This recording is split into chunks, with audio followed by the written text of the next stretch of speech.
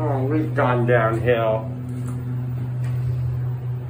The same as the others. Fan being up there, and the doors are now wonderful. This is wonderful. Look at that light. Also a ThyssenKrupp Aurora.